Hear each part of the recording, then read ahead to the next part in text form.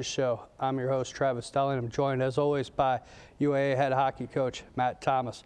Welcome back, coach. Yeah, thanks for having me. We got a lot to talk about. We got uh, Lake Superior State, Bowling Green, got some highlights going on. We got some uh, charity events you guys are doing around the neighborhood. But we'll start with uh, you guys just got back from the Sault Saint, Sault. Marie. Yeah. And uh, it was a fantastic weekend of hockey.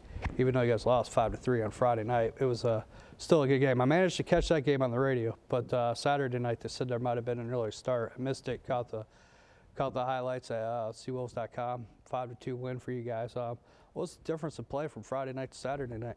Well, I think well the difference from play is uh, I think we were on by Friday. We, There and see what we got. Brett Cameron here, game winner, Lake Superior State.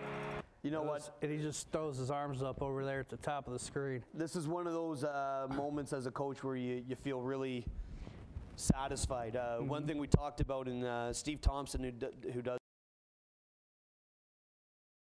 No, we, I thought we played a very good game uh, today. Obviously, there's some things that we need to clean up as far as our spacing on our breaks and, uh, you know, just our position on the floor overall. But I think that will come with, you know, more minutes being played. And, and we have uh, we had some freshmen step up and have some pretty big games for us. Tonight. I think tonight was a big win for us, a big GNAC win against a very good opponent. Um, in, in the first game, I think uh, we played maybe some of the best volleyball we've played all year.